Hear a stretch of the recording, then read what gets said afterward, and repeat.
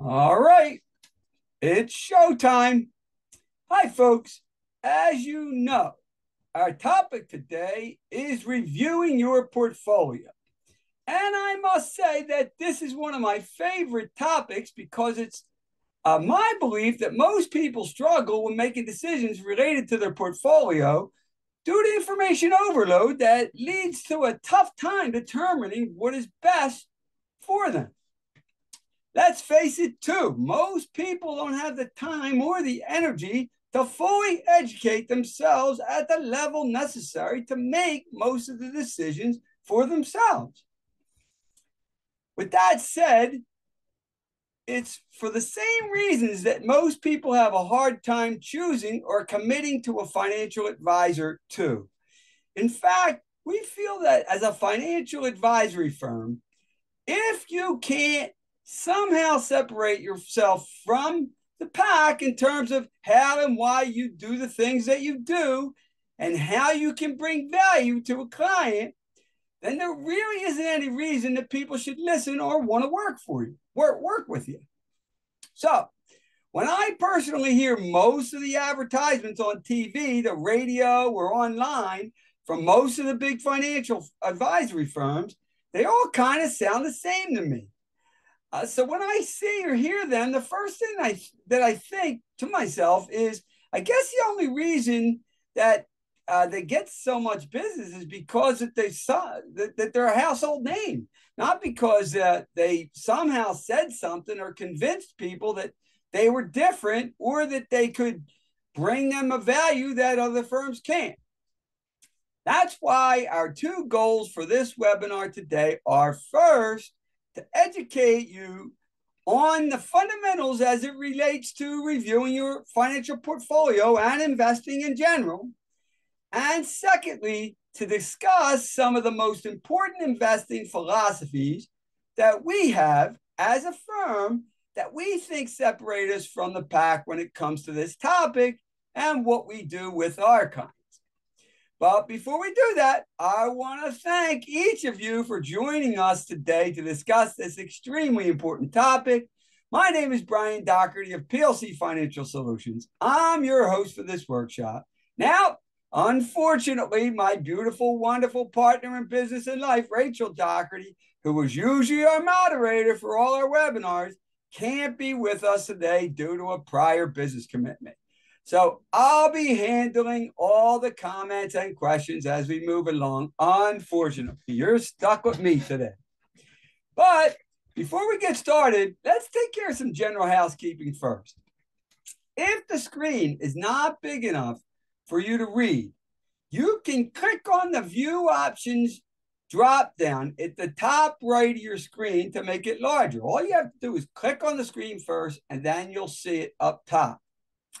Also, you'll see that there are two boxes at the bottom of your screen. One's called chat, it's for your comments, and the other is called Q&A for your questions. Please use them accordingly and I will respond to them in kind once we come to a break for me to do so. Now, I'm not sure, uh, well, I'm actually, I'm pretty sure that many of you guys are going to have questions related to this material as we cover that we're going to cover today. But since we have a good bit to cover and only an hour to cover it, I'm going to ask you to put them in those boxes below. We can even email them to me at info at plcfs.com if that's easier for you. And at the end, we will be staying for some extra time to cover as many of them as possible. However, if we don't cover yours, we'd be happy to answer it by either email or either a 15 minute Q&A phone call scheduled for another time. I have posted links for you to schedule that at uh, in the chat box if you're so inclined to do so. Next thing, this webinar is being recorded and it will be sent to everyone who is attending today. So don't worry about missing anything. You'll have plenty of time to check it out again at your convenience. Also, because we want to make sure that you're all paying attention, and because we'd like to have some uh, fun, we'd like you to have some fun as well. Before we answer any questions, we have a six question quiz for you at the end. And the first person to answer each question correctly inside the Q&A box will win a $10 gift card to a store of your choice for each question you answer. So make sure you have a notebook handy to jot down some brief, some brief notes related to some very special bullet points that I will point out as we go along. Finally, it's my obligation as a financial advisor and a fiduciary to inform you of our RIA's disclaimer statement. And that is that our investment advisory services are offered through Fusion Capital Management, an SEC registered investment advisor and we only transact business in states where we are properly registered or are excluded or exempted from registration requirements. Also, SEC registration is not an endorsement of our firm by the commission and does not and does not mean that our advisors have attained a specific level of skill or ability. And most importantly, all investment strategies have the potential for profit or loss. So now that we got that out of the way, I have one for you as usual. What math, what math class does a tree with a speech disorder take? Trigonometry. That's a new one. And I looked it up myself. I didn't even steal it from the kids.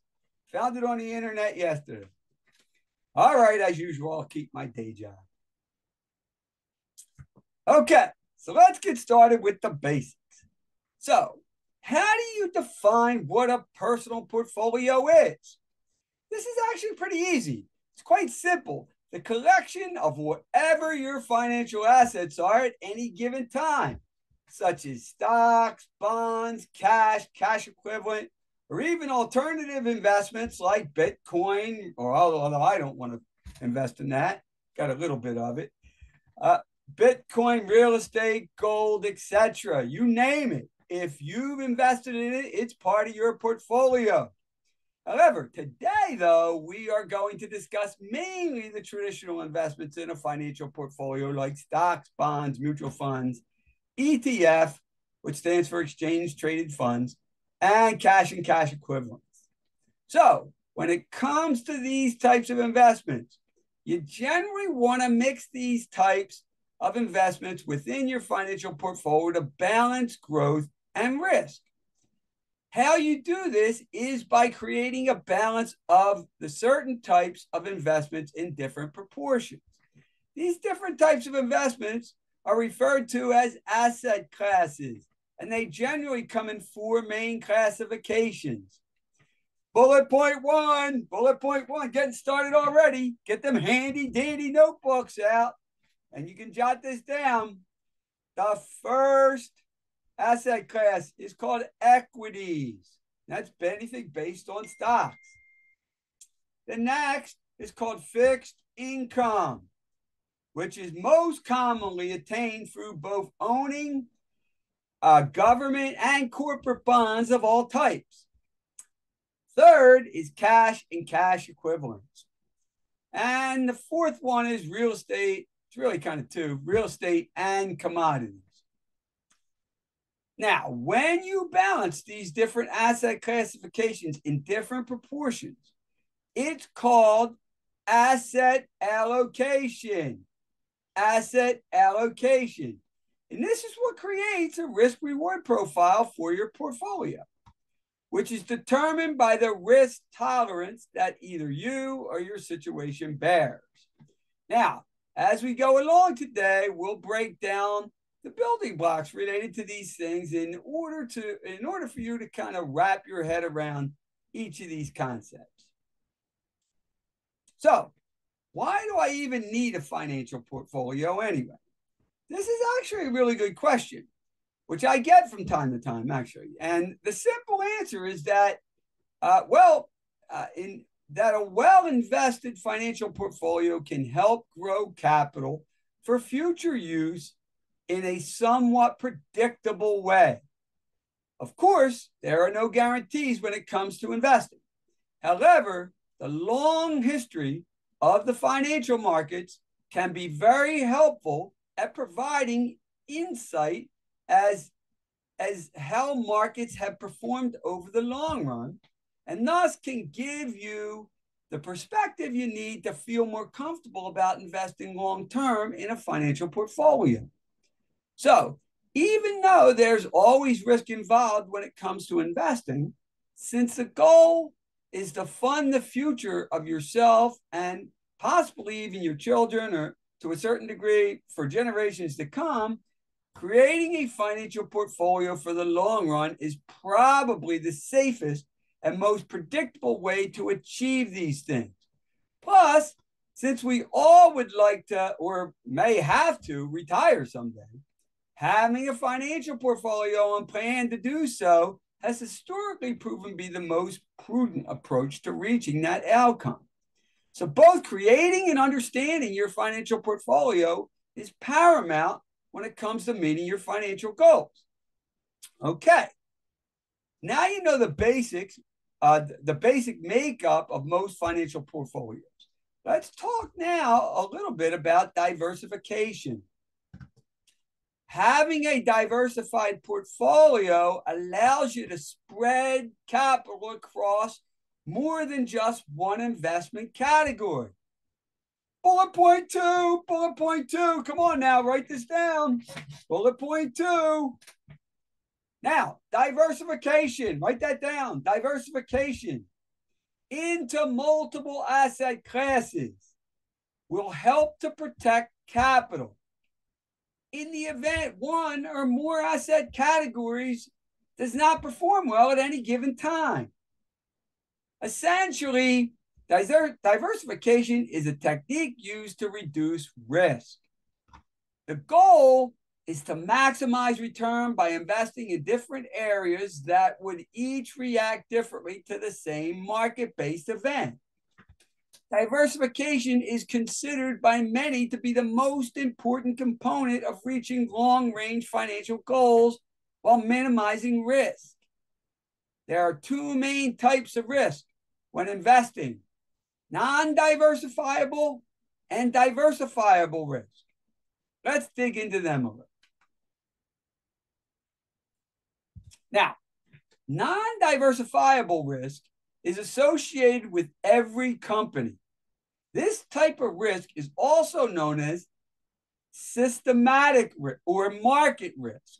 So, factors include things like inflation rates, recessions, exchange rates, political instability, natural disasters, terrorist attacks, war, and even interest rates.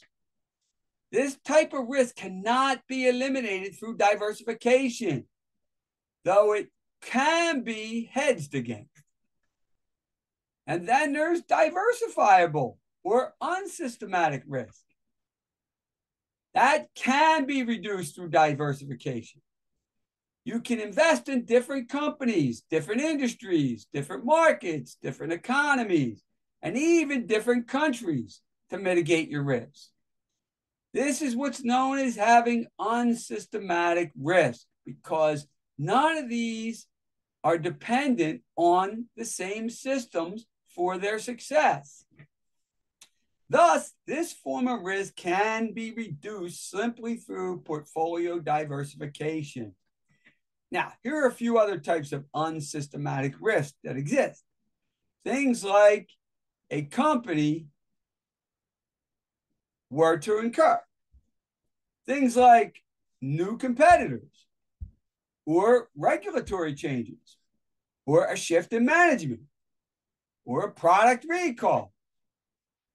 These things would be specific to a single company or industry and could cause one investment or group of investments to incur losses, but not an entire diversified portfolio like would happen if there was a worldwide crisis like our current pandemic or that that we just went through. Like it caused in March of 2020. And that is a non-diversifiable, non-diversifiable event, which causes all asset classes to lose value at the same time. Sometimes they call it a black swan event. Uh, on that note, let's discuss market risks a little more. Bullet point three. Man, we're jumping into bullet point three already. Come on now, write this down. There are four main types of market risk. The first is interest rate risk. And that is the risk that investment value will change due to a change in the absolute level of interest rates. This type of risk affects the value of bonds more directly than stocks. In fact, we just went through this over the last year. As interest rates rise, bond prices fall, and vice versa. This type of risk has actually been extremely relevant for investors over the last year or so because inflation got so out of control after the COVID pandemic. The Federal Reserve Board, otherwise known as the Fed, found it necessary to raise the Fed fund rate extensively, which then caused the bond market to correct more than it ever really actually has in this short period of time in its full history. The next is called monetary risk. The first one was called interest rate risk. Second one's called monetary risk, very closely related to interest rate risk. Monetary policy impacts interest rates through regulatory um, committee decisions that determine the size and rate of growth of the money supply. This can and has gone hand in hand with the interest rate risk because it is the Fed that controls our monetary policy in the US. And thus, their main tool for controlling the monetary policy is by raising or lowering the Fed fund rate interest rate. The third risk, market risk, is commodity price risk.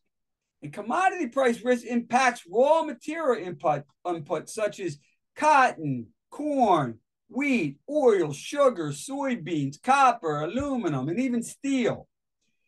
This type of risk not only impacts the raw material, but commodity users as well.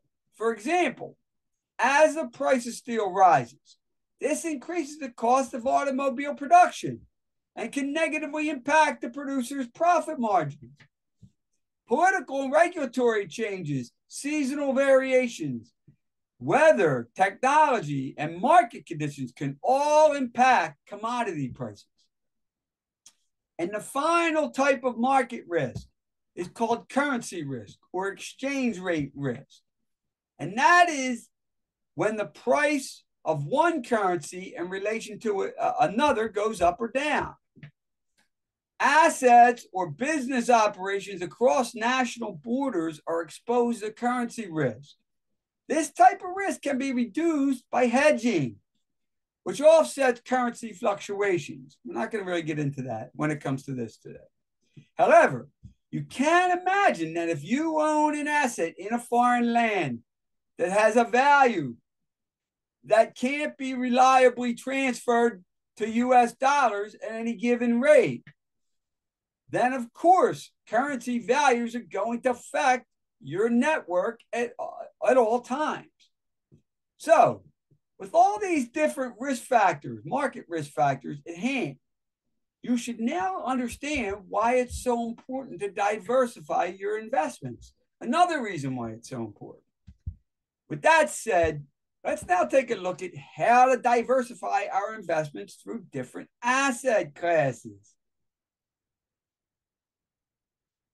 Get a sip here. Drying up. All right. Asset classes are groups of similar types of investments. To have a diversified portfolio, you need to have a variety of asset class investments.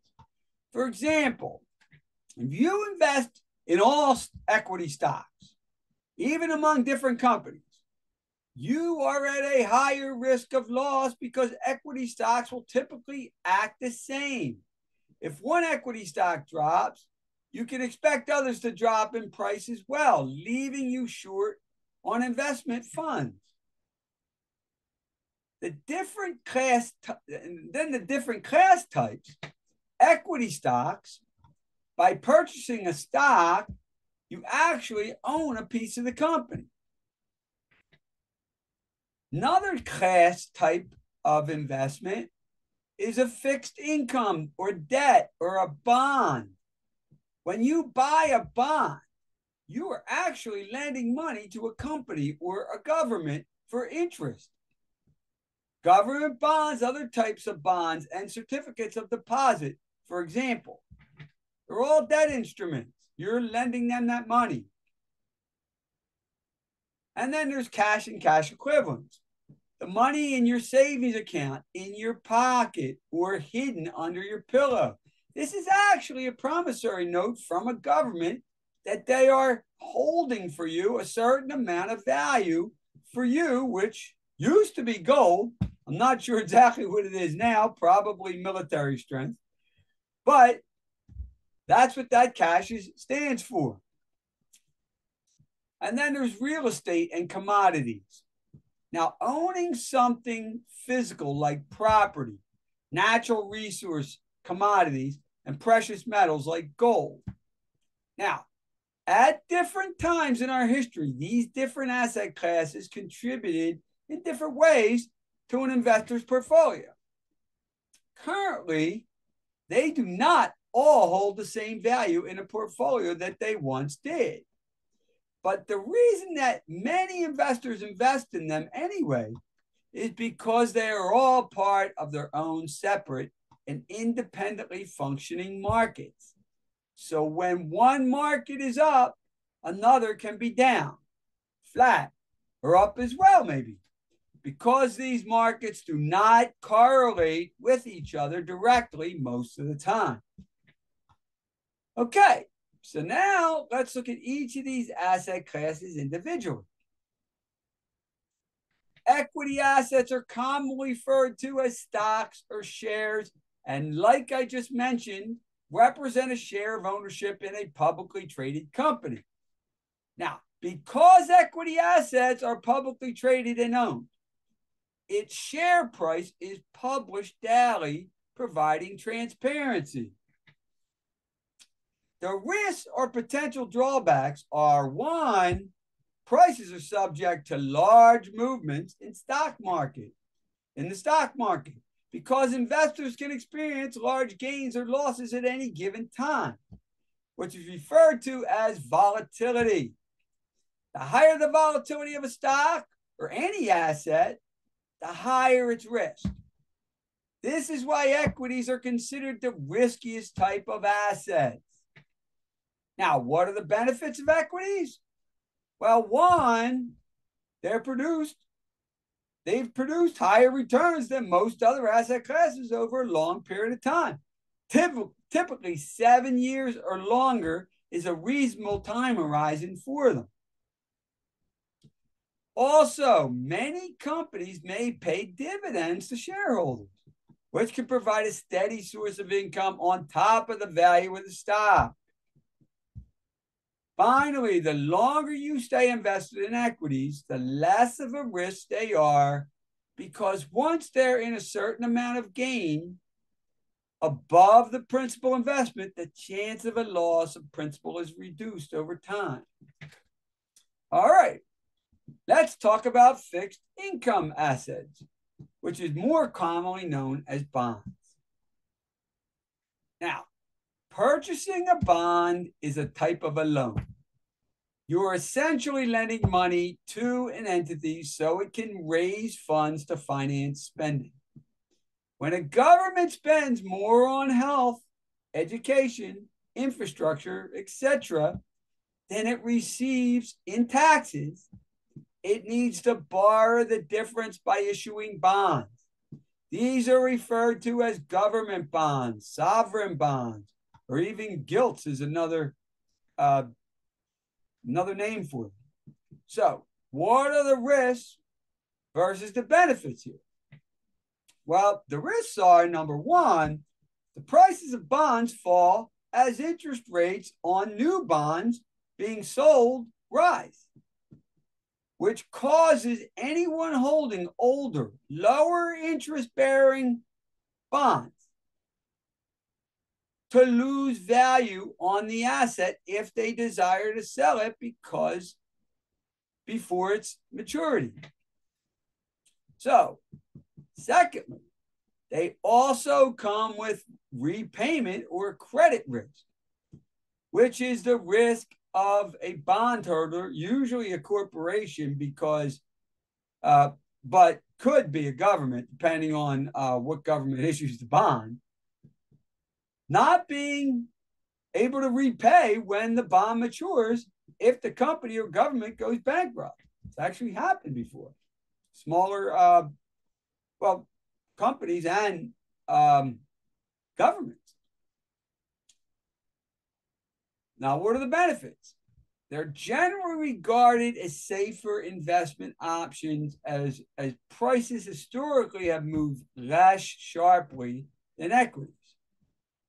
They typically provide a high level of income, plus medium to low to, to long-term capital appreciation with relatively low, low risk. They can be inflation linked in order to provide investors with some degree of protection against rising inflation. The US government actually sells what's called TIPS bonds, which stands for Treasury Inflation Protected Securities. They work by increasing the principal of the investment by whatever the CPI, Consumer Price Index, inflation rate for the year is. All right, now cash investments are a range of securities that typically take the form of short term loans that pay regular interest. Repayment is usually less than one year. Generally, cash equivalents are associated with money market investments. I'm sure you've heard that term, money market investments. Most of most of us have had a money market account at the bank. That's actually a cash equivalent associated with uh, money market investments. Because money and market investments, money market investments have a short maturity period, interest paid is generally lower than bonds. Although these days it's, it's actually higher than most. It's one of the highest that we've seen in a long time. You get checking accounts that can get that are getting five percent. Now, asset managers hold a variety of money market securities for their diversification benefits. They're made up of various companies, banks, and government borrowers with various maturities up to 12 months. Now, the benefit to cash uh, investments are they are shorter term investments where the money is easily accessible and generally very liquid. They offer better returns than interest paid on a bank uh, by a bank account, at times keeping up with inflation. These days, really, are getting very uh, surpassing inflation right now, but not always. Most of the time, over the last uh, prior to the last year or so, they they generally don't keep up with inflation. Now, money market unit trusts are also more flexible than uh, term deposit offered by banks with no fixed waiting period before withdrawing your money. Again, more liquidity. They are among the lowest risk investments held by unit trust funds other than physical cash. Now, what are the risks?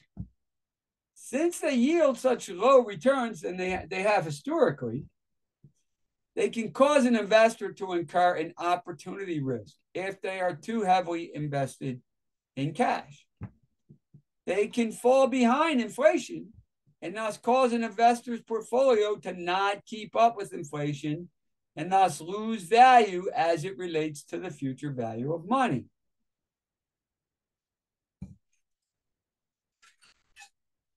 All right. Now, when it comes to real estate, as the real estate asset class, there can be actually a few different types of real estate investment approaches that are considered.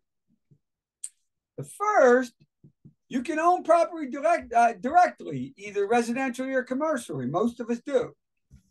In this way, someone can either collect rent and capitalize on capital appreciation of the value of the home at the same time, or they can even just flip the property for the capital appreciation or the profit immediately.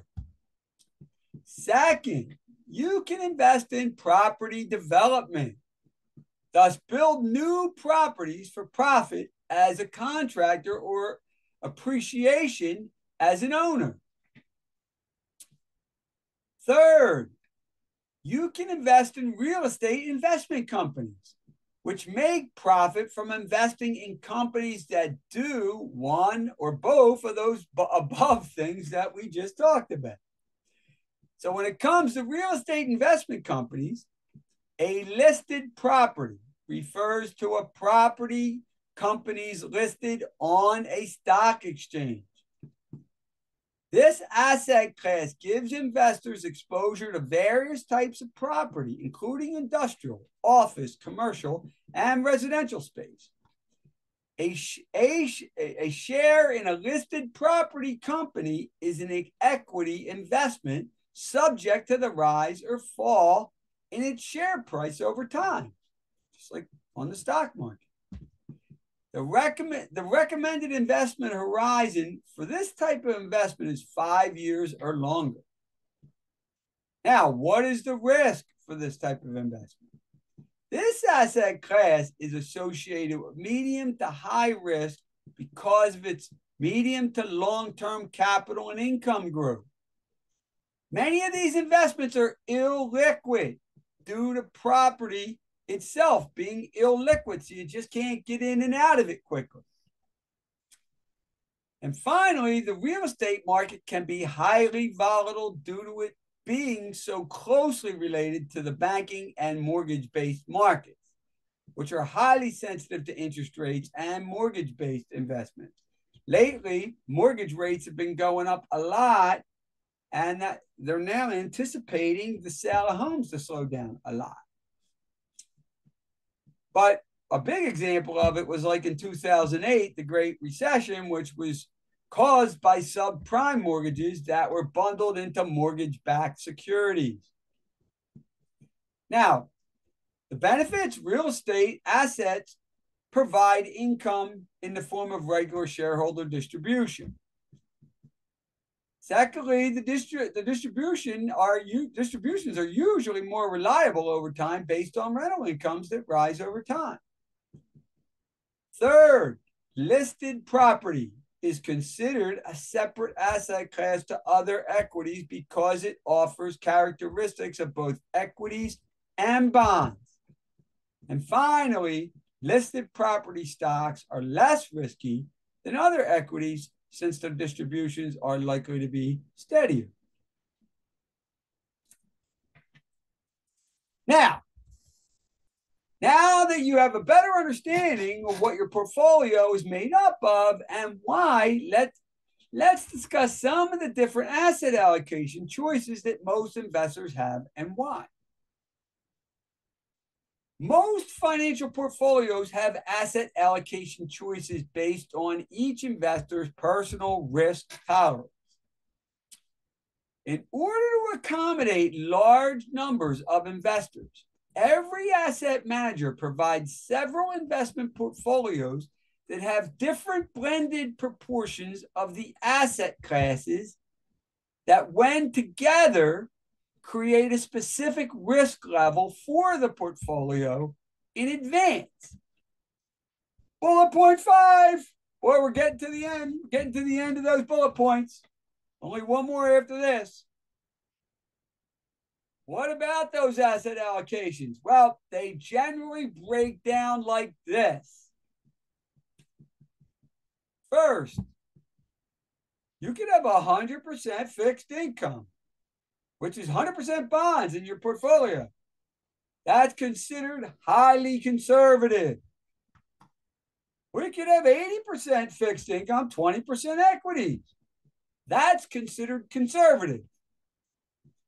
You could have 60% fixed income and 40% equities. And that's considered moderately conservative. And then you could have 50% fixed income slash bonds and 50% equities, so stock. That's considered moderate. You could have 40% fixed income slash bonds and 60% equity slash stock. And that's considered moderately aggressive. That historically was the most common portfolio that we would see when people were retired. They would retire at a 60 40 equities to fixed income, and they still do, a lot of people. And then you can have a 20% fixed income, 80% equities uh, portfolio, and that's considered aggressive. You could also have a 100%, 100% equity portfolio makeup, and that's considered highly aggressive. They are pretty much the breakdowns of most people's portfolios today. Now, there are always some slight variations from these predetermined asset allocations, but these are the most standard combinations that you'll see out there today. Also, the individual investments within these asset classes vary tremendously from one portfolio to the next and from one asset manager to the next as well. However, whichever investments that they use, they will usually fit into each fixed income slash bond or the equity slash stock asset classes.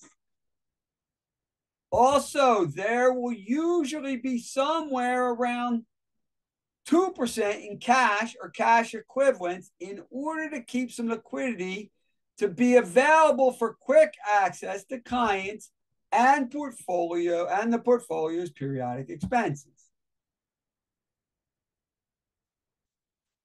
So now that you have a basic understanding of how most portfolios are constructed as it relates to risk, let's take a look at the different types of investment management strategies that are employed in order to pursue investment returns.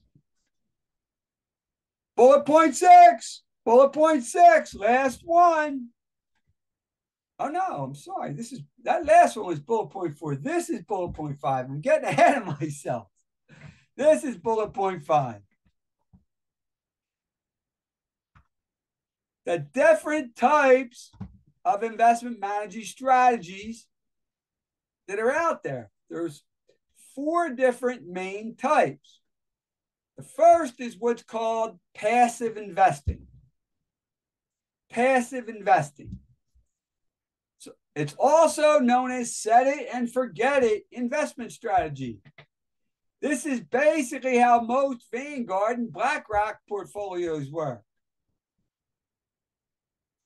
Then there's active investing. And this is where asset managers make active choices on what to invest in and when. This causes investments in the portfolio to change periodically and maybe sometimes frequently. It usually does not change asset allocation in the portfolio, though. Trades are usually made within the current asset allocation makeup. So manager, say you have a 60% equity, 40% fixed income or bond portfolio, they're going to actively trade uh, equities within that 60% margin. And then they're going to actively trade fixed income investments within that 40% margin. They're going to stay within the set asset allocation in, uh, in active investing. Now, tactical, or what is also known as quantitative asset management, let's just call it tactical for now, asset management, is executed through the use of algorithms that are fed market and or economic data metrics that trigger trades at predetermined thresholds. Now, these portfolios do not have static asset allocations to provide risk mitigation. Instead, they provide ranges of asset allocation. So, a moderate portfolio, instead of being set at 50% equities and 50% fixed income, it will have a range of between 65% to even 0% equities at given times and 35 to even 100% fixed income or even cash at other times, depending on how those uh, market and economic metrics are triggering the trading. That's called tactical asset management. And then the final one is what's known as protected or hedged investing. And that is where asset managers use various types of call and put options to both protect the principal invested and to generate income slash return on the assets invested. Now, the last two types of investing are the ones that our firm has been leaning towards over the last three or four years. Let's take a look at why that is.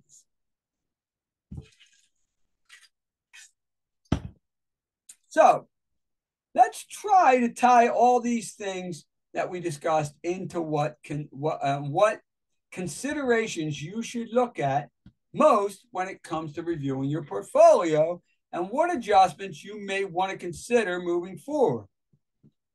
We're going to look at this first before we actually look at the tactical and the protected investment. And this is our bullet point six. Now, take that handy dandy notebook out because here are seven of these. Seven of these uh, basic. This is a breakdown of the things that our our firm thinks should be given priority based on today's financial markets and investment strategies, and that that are actually all available. So these are what I consult. Um, I'm referring to as the seven considerations. And this is your bulletproof number six, bullet point number six. These are the seven considerations you should have when reviewing your portfolio. The first, current fixed income market yields. You want to find out what your fixed income is yielding and what the long term outlook is for that yield. That's the first. The current fixed income market yields. The second is current equity market returns. Current equity market returns is a big deal. You want to know what they are and what the long term outlook is for them. Third, what your portfolio return needs and goals are. So you should have figured out within your financial plan how much your portfolio needs to gain in return as a minimum. Most people are trying to get the maximum out. And of course, we all understand that. But really, it's most important that you get the minimum amount you need to sustain your plan. So you want to make sure that you know what that is. Fourth, the potential return of your portfolio's asset allocation. So if you're at a 50 50, 50% equities, 50%, 50% fixed income, there's software that can tell you by today's standards based on how the market is in the equities and the fixed income markets, what your particular blend of equities and fixed income investments have a potential to yield.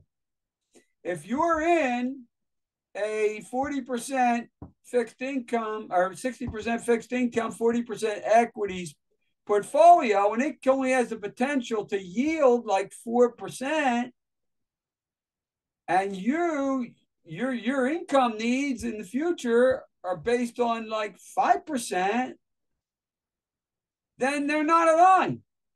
Now, no one can guarantee either, but you want to make sure that your portfolio at least has the potential to yield as a minimum what your needs are. The fifth consideration the risk, what your portfolio's risk reward profile is, and how it relates to your minimum return needs. Like I just said, if you have a risk uh, reward profile, I'm going to show you what that looks like in a minute, that doesn't align with to be able to create the kind of return that you need, then it's not aligning with what your minimum return needs are. So you want to know what your potential return is, and you want to know what the risk reward profile of your portfolio can yield. Six is how volatile is your portfolio? And you know that by looking at your risk reward profile. Now, finally, number seven is your portfolio's average return versus its compounded monetary return. And I'm going to explain that in a minute. So that's bullet point six. You want to write as many of them down as you can. So let's first look at the market based factors for you to consider, starting with the current fixed income market yields and long term outlook. Well, over the last five years, the average annual yield of a 10 year Treasury note was 2.13%, although they were actually at 4.2% yesterday, and believe it or not, 4.25 the day before that. Over the last 10 years, the average has only been 2.03%. After looking at this pretty, uh, after you look at that, it's pretty obvious that bond yields were trending downward until recently. And this low yielding fixed income bond market environment had really taken a toll on retirees and investors in general over the last 10 years, whose portfolios either were or should have been on the more conservative side of things, and thus lost return as a result of it, or because many of them have had to take uh, have had to take on more risk than most of us would consider optimal for people in retirement and sometimes suffered market losses due to that. On the upside of this, though, it looks like fixed income slash bond returns are making a big comeback. And once the low yielding bonds that are still part of most people's portfolios right now mature, they should start to see better returns from more conservative investments in the not too distant future, depending on the types of bonds, funds, or maturities that they're invested in. Next, let's look at the equity markets and where they've been trending. Now, over the last 20 years, the average annual return was 9.07% adjusted for inflation. It was actually 6.46%. As compared to the last 30 years, as compared to the last 30 years, adding 10 years to that, going back, which was 10.72% and 8.29% respectively. Again, you can see that the long-term trend is downward. The 20 year is lower than the 30. Okay, so now let's look what the potential return over the next 20 years is for a $100,000 portfolio that is made up of 30% bonds, 70% equity, which is a conservative portfolio moderately conservative. Now, equities take 30,000, multiply it by 6.4%, comes to 104,200. Add that to the 70,000 that actually ended up with a negative 0.58% after uh, uh, adjusted for inflation. Over 20 years, that turned into 69.6 from 70,000 to 69.6 adjusted for inflation with a total return of 74.6% over the next 20 years. Total return for the total return or a 3.73% average compound interest after inflation as compared to what it would have been over the past 30 years, which is 4.52% average compound interest rate after inflation. That's a 0.8% or almost a 1% difference when it comes to return. So, folks, you can all see where the trend is going these days when it comes to mark, uh, market returns, and that's downward. Now, let's look at the factors to consider when when it comes to your portfolio. To start, first, your portfolio return needs and goals need to be given serious consideration. When you or your financial advisor were creating your long term financial plan, there had to be a determination of what the minimum portfolio return will need to be in order for you to reach your goals. So, if it was determined that 5% or 6% was going to be needed in order to meet your needs long term, then a portfolio would need to be constructed that has the potential to do that return. Of course, there's no guarantees, but the potential return must be aligned with your needs. For example, if someone has a half million dollars, their potential return need is going to be less than somebody who has $300,000. If they had the same bills, same expense levels. Now, this way, you're at least in the ballpark with your planning. This can be calculated in any number of ways. The easiest way would be to use an online financial calculator to assist you. Secondly, you'll need to find out what the potential return is for the asset allocation breakdown that your portfolio is made up of.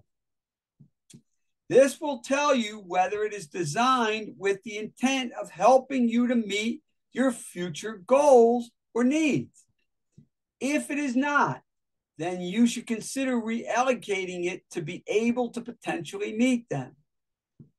The main issue with fixed income or static asset allocation today, I'm sorry, the main issue with fixed or static uh, asset allocation today is that both equities and fixed income investments aren't returning as much as they used to long term. And this is causing many investors to have to invest more aggressively than their situation can tolerate if there was a major correction in the markets. Thus, the potential return of a 60% equity, 40% fixed income portfolio or less is likely not going to return enough. But if you increase the equity portion, it is likely to cause the portfolio to exceed your situation's risk tolerance level. So let's continue on the other major portfolio factors to consider. Okay, let's discuss these portfolio factors. Number three and four that I mentioned on slide 15 of all the seven considerations. Number three and number four of those seven that I mentioned on that slide for you to consider when it comes to possible improvements is in factor three, an analysis of your portfolio's risk reward profile is something that you definitely will want to do. As you can see, portfolio one has a 95% right here. Portfolio one on the left has a 95% historical range of potential return in any given in any six month period of between negative 8.84% and positive 12.65%. That's your risk reward profile. That means that in any six month period, it has the potential gain of 1.6% for every 1% that is risk at risk. Conversely, portfolio two on the right has a potential to gain 2.35% for every 1% that is risk. Thus, they both had the potential to average around 4 to 5% annual, annually as well. This means that portfolio two on the right has a better risk reward profile than portfolio one. This is an important consideration for any portfolio that is being reviewed. In my opinion, a good risk reward profile is for a portfolio to potentially gain anywhere between 1.75% and 2.5% for every 1% that it risks. Now, let's look at factor number four, which is determining how volatility, how volatile your portfolio is. These same portfolios serve as very good examples of portfolios that have similar potential average annual returns, but demonstrate much different volatility potential. Again, since portfolio one has a wider range of volatility than portfolio two, it is, of course, the more volatile portfolio and is thus the less desirable of the two when it comes to this consideration. All right. Now let us look at our final portfolio factor to consider when reviewing your portfolio for potential improvement.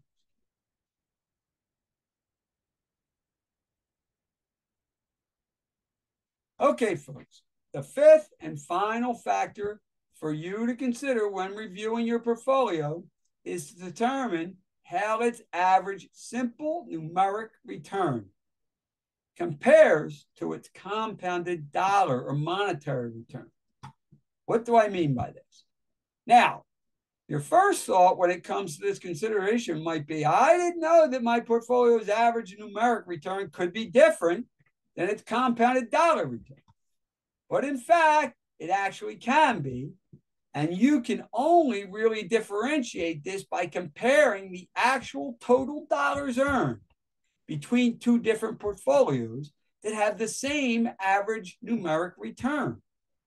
Numeric meaning if they both do 5%, you actually have to check to see if they started at both the same amount of money and did 5%, do they both end up with the same amount of money? Also, the variable that causes this anomaly to occur is the difference in volatility between two different portfolios. Now, you can see this clearly when you compare the two wavy lines that are representing two different portfolios on the top graph here. The orange wavy line, which represents the more volatile portfolio, has a range of plus 25% and negative 15% in any given year. And the gray wavy line has a range of plus 15% and negative 5%. And even though they both average, have an average simple numeric return of 5% annual, the less volatile portfolio produces a 42.5% total return over eight years, which is actually a 5.3% compounded dollar return annually versus the other, which only produces a 27.4% total return, or actually a 3.4% annual compounded dollar return. When you look at the actual dollars return, folks, that is a difference of almost 2% annually. Thus, this is a very big deal over the long run. Also, the spreadsheet below shows a numerical breakdown of how the two portfolios arrived at these different compounded returns. I created this spreadsheet just so I could actually see how this worked in dollars. And I must tell you that I completely was blown away when I realized this several years ago at this point. So at the end of the day, when you're reviewing your portfolio, making sure that it has a good risk reward profile that minimizes your portfolio's volatility is of utmost importance when it comes to maximizing your, your portfolio's potential over uh, your portfolio's potential overall in the long run. Okay, now that you have a good idea of why it's so important for your portfolio to have a good risk reward profile, with the goal of keeping its uh, volatility under control. You now know one of the main reasons why our firm has preferred and gravitated towards both the tactical and protected investing approaches over the traditional static asset allocation approach that has become traditional for many investors. The bottom line is that one of the main priorities when it comes to both tactical and protected managed portfolios is to minimize volatility, which in doing so also mitigates the risk of the portfolio drastically as well. They do this by using algorithms that are fed both economic and market based data when it comes to tactical investing and various stock option strategies when it comes to protected investing. Also, these types of investment methodologies have been in use at the institutional level for many years, but they've just become more accessible to the average investor through different third-party money managers, money managers over the last decade or so. So, to wrap things up, let's take a closer look at how tactical investment strategies work and what is capable of when implemented into a portfolio. The concept of tactical investing is to build portfolios that have ranges of equity exposure at any given time.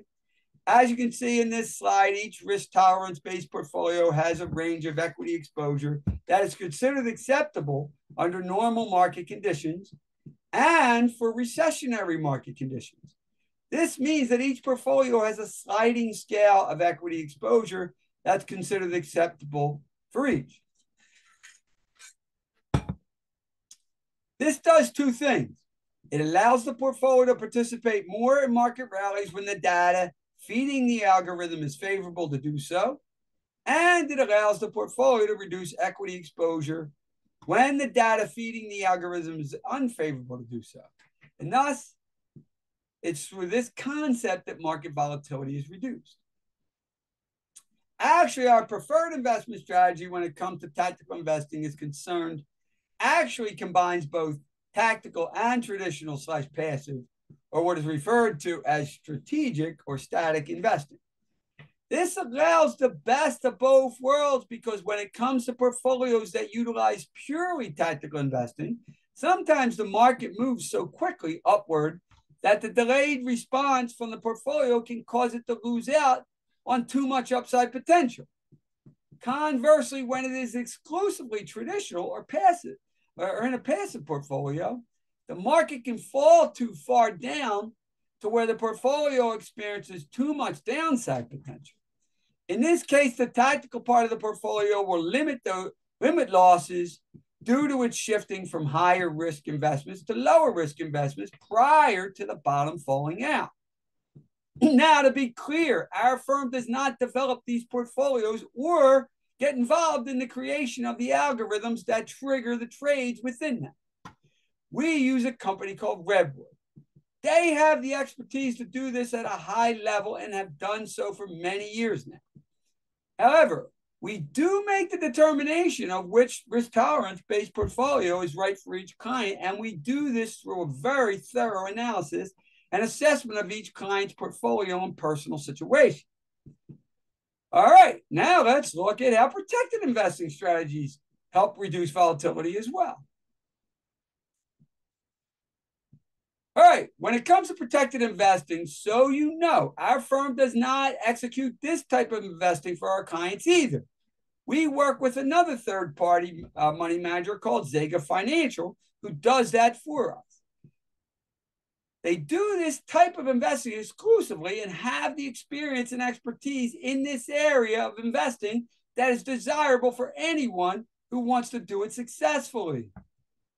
However, we, as their financial advisors, do perform a full analysis of our clients' financial needs and risk tolerance so that we can determine which type of Zega portfolio is most suited for them. We then match them to it as well as execute the orders for that portfolio to be traded and implemented, as well as monitor its success over time. All of which, of course, are instrumental for the success of their overall plan. Now, with that said, since Zega has several portfolio models, uh, models that utilize several different stock option strategies, we, of course, can't look at them all today. But in order to give you a basic understanding of what they are like, Let's focus on two different examples at this at this time. This model in this slide is called the Z-Big IRA model. It's called this because it was created to conform with the rules and regulations of the federal government that relate to what type of stock options can be utilized in an IRA. Now, the name ZBIG stands for Zega Buffered Index Growth. This model portfolio was created to use short duration, high yield corporate bond ETFs over a two year period to protect to protect the principal of the portfolio and stop and stock options it's not just corporate, uh, also um, government bonds, ETFs as well, over a two-year period to protect the principal for the for the portfolio. And stock options to capture as much as 65% of whatever positive returns the S&P 500 does in that time frame. So in this graph, the blue line represents the Zega portfolio and the orange line represents the S&P 500. Now you can see on the left side of this graph what happens to the Zega portfolio when the S&P 500 is in the negative. The Zega portfolio is being protected from any losses because 90% of the invested assets are invested in short duration treasuries and corporate bonds, which protect the principal of assets as long as they are held until bonds have matured which in this case is no longer than uh, two years. However, on the right side of this graph, when the S&P realizes positive returns on the other uh, positive returns, the other 10% of the portfolio is invested in stock options that will pro provide up to 65% of whatever the S&P 500 return is. This allows for an impactful return from a portfolio that is really risking very little at the same time. So, folks, as you can see, this Zega portfolio model has a strategy in place through the through the use of short duration bond ETFs and stock options to limit the downside of the portfolio while still providing ample opportunity for a decent amount of upside return if and when it occurs. Thus, again, staying consistent with the idea of limiting the portfolio's volatility, just like the Redwood portfolios do. Now, this Zega model portfolio is market based since it depends on the performance of bond ETFs and what the S&P 500 does in that two-year period for it to get its return. However, Zega does have another model portfolio that is considered an alternative investment that I would be remiss not to mention because it does not directly depend on the bond or stock markets to get its return. And it has really delivered some pretty good returns since its inception, which makes it a very attractive model portfolio to consider as well. Let's take a look at that before we wrap things up. These Zega model portfolios are called the Hypo series. There is a conservative, moderate, and aggressive version of it. Uh, uh, of it. The word HIPOS, H-I-P-O-S, is an acronym that stands for High Probability Option Strategy. And this one single graph represents the same concept that goes on in all three versions of this portfolio model. The only difference between them all is how often what they do occurs. So let's talk about what they do. This portfolio only sells option positions against the principal to generate its return. The principal either sits in cash or cash equivalents, like short duration treasury bonds, and waits to see if the income from the options that were sold will be fully realized or not. So in this slide, you can see the red and green line that is going up and down like a stock or ETF price that is riding in the market. But in fact, it's actually the value of the stock options that were sold going up and down with the market. Usually the S&P 500 or the NASDAQ that the stock options are sold against. Also, the big purple half Easter egg looking line is connecting two different strike prices on the index that is used. In this case, it's the S&P 500, and those two points are giving us a range from top to bottom that the index price needs to stay between, especially the lower end, in order to form the income that was generated by the sale of the option to be fully realized. Also, since these types of stock, stock options have, expira- have an expiration date on them, the index slash stock option needs to stay within that purple line up until it expires, which is once which is once a month for the conservative model and more often for the others. As you can see, the way that Zega does this, there is a 95% probability curve that the income generated from the sale of the option will be fully realized. But if its strike price, which is the price at the very lowest part of the purple line, is reached, then it's at that point where this strategy can start to lose money. However, there is only a 2.5% probability of this happening in any given time. There is also a 2.5% probability that it could go above the purple line at the top. And in that case, it could actually make more money. That all being said, the major difference between the three different level portfolios is that the HIPOS conservative only sells options once per month, and that the HIPOS moderate and aggressive model portfolios will sell options multiple times a month. Moderate being on average twice per month, and aggressive being three or more and thus generating more risk and income slash return from these additional sales. With all that said, that this non-market correlating type of investing realize, realizes its return at a completely different rate than any market correlated investment, which also serves to minimize the portfolio's volatility. In fact, the HIPOS conservative model has averaged 7.87% annual return since its inception in November 2012 and has still never provided a negative annual return as of yet. Well, folks, that concludes the educational part of our workshop today.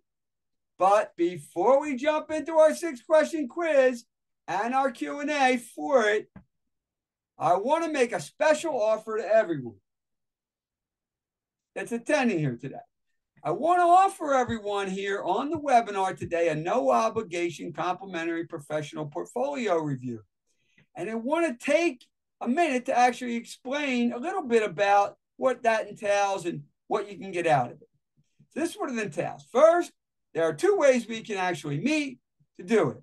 The first is online using Zoom, which is almost just like how we're doing this webinar, but instead we'll both be able to see and hear each other, and it will be completely private. Or second, we can actually do it the old-fashioned way and meet at our office in Fort Washington, even though I don't do it that much since the pandemic anymore. We're right off the turnpike on, Office Center Drive. Second, it's a two-step process we would meet to gather all the information that I'll need to do the review. And then second, we'll meet a second time to go over the results of it. Finally, what you can get out of this is a clear understanding of whether it would be worth it or not for you to integrate one of the low volatility investing strategies that we discussed today. Or, or perhaps even some other recommended adjustments if they can benefit you with the uh, with your current portfolio plan. So if you'd like to take me up on this, no obligation complimentary professional portfolio review, you can just uh, you just need to go into the comment or chat box and click on the link that I put in there in the beginning uh, that says 60 minute meeting for you to do so. Uh, you like, if, if, if you like, you can actually click on that link now and then it'll pop up the window. You can get back to it later, so you have it. And you can even do it during our uh, six question quiz if you if you if you weren't paying attention, or during the Q and A. And you can actually be, you'll be able to schedule it at your convenience because you'll have the screen open. Uh, and you can put, you can, uh, you have access to my calendar and you can make it whenever it works for you. All right. Also, if you have any questions that you would like answered before you book, you can also schedule a brief 15 minute Q&A phone call with me as well. I put a link in there for you to do that too. I posted that link in that in that chat back too. Plus, folks, I will be leaving this Zoom meeting open for a half hour after it ends today. Uh, so that if you would like extra time to be able to copy and paste any of the information that I posted in the comment boxes or Q&A box, you'll have plenty of time to do that afterwards. All right, that's it, folks. Let's jump into our six question quiz and our Q&A session. All right, I have to open this. Uh, I have to open the uh, Q&A box. Anybody who wants to answer them, just jump in there. First question. Name one asset class that we discussed. One asset class.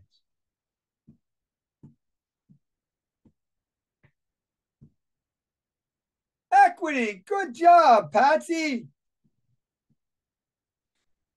All right. Number two. What investment method is being used when someone invests in multiple asset classes to help protect capital in the event one or more asset categories does not perform well at any given time. What's that investment methodology called?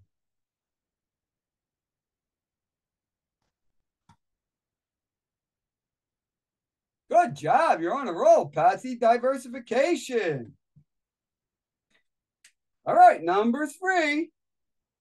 Name one form of market risk. There was four of them.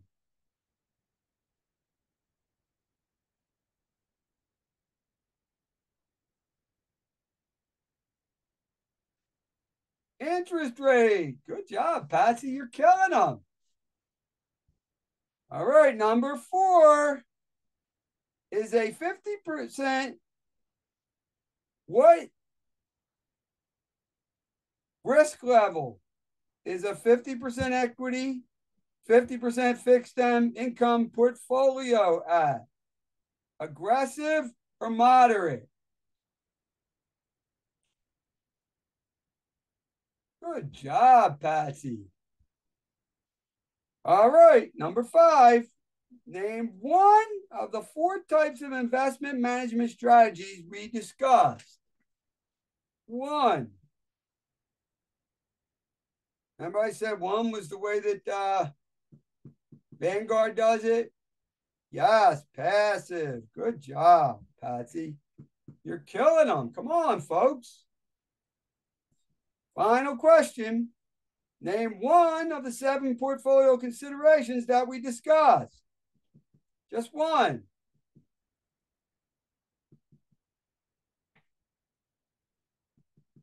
Come on, Patsy, go for it.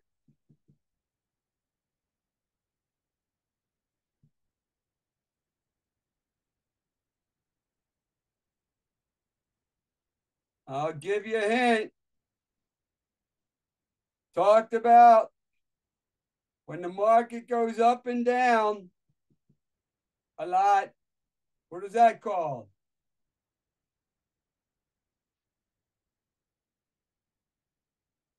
Yeah, portfolio needs the gain. Yeah, what what does your what are your return needs? That's a good one, Patsy. You got all of them.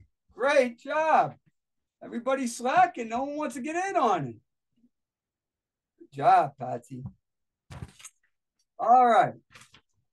Now, we did get a couple questions in the um in the email. If anybody has any questions, uh, you can put that in the Q and A. But I'll start out by going through uh, a couple that I got in the um. I actually, got four of them in the uh, in my email.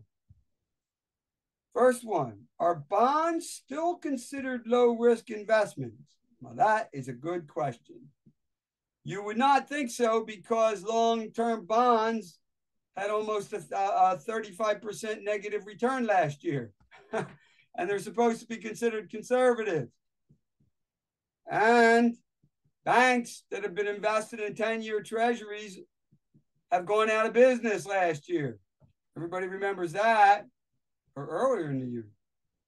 So, yeah, uh, the answer is, though, that historically, they are considered conservative. But I wouldn't necessarily call them low risk when it comes to um, what their potential is. They're low risk based on what their history has been. And that's a bit of a difference. That's one of the reasons why I feel like it's so important to diversify your portfolio even into non more non-correlating investments. All right. Second question. Are ETFs and mutual funds lower risk than stocks? Well, technically they are because they're more diversified. And most risk scales would show them at a lower risk level than stocks, individual stocks. But I wouldn't call them low risk. They're in the, you know, they're in the moderately aggressive and all equity, an all equity ETF anyway, is still going to be in the moderately aggressive area versus an aggressive area uh, for or aggressive or um, yeah, most aggressive for a stock. All right. Since bond and equity market returns have been trending downward, what do you think is a good way to counter that trend? Well, I think I made my uh, I think I made my argument for that during this um, uh, webinar. Really, any way, any type of uh, any type of investing that involves reducing volatility and that has less correlation with the bond and stock markets is is probably going to be a good way to counter the the uh, lower trending bond and equity markets going forward. You saw that the the uh, the less volatile uh, portfolio compared to the more volatile portfolio was yielding almost two percent more. All right. Now, final question. What do you think is the most important factor to consider when reviewing a portfolio? Well, of those seven considerations, I think the most important is to look at what that risk reward portfolio uh, profile is. That's going to tell you how volatile the portfolio is. When one was like seven, negative 7.35 versus the other one being negative 0.3, somewhere in that three point something. Um, and so I'd say the risk reward profile is the most important of all the considerations. All right.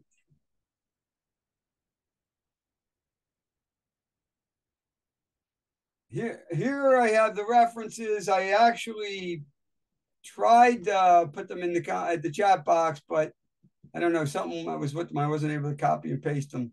I could email them anybody's interested though. All right, folks, that concludes our workshop for today.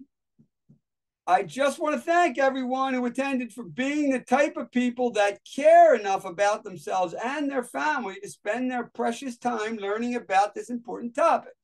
I truly commend you for that.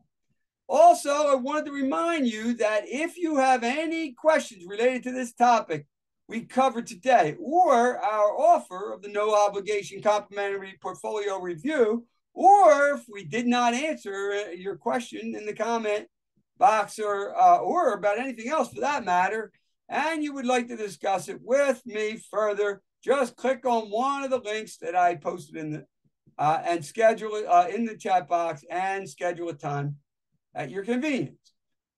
Well, that's all for tonight, folks. My name is Brian Dougherty of PLC Financial Solutions, located in the Fort Washington, PA area. You can reach us at either 215-804-9708 by phone or at info at plcfs.com. Or to make it even easier, just go to our website at plcfs.com and all our information is always there. Also, please mark Tuesday, September 26, 2023 at 7 p.m. on your calendar for our next webinar. Remember, we do them on the last Tuesday of every month. Have an awesome end of your month and Labor Day and a great month of September, and we will see you next month. Good night, folks.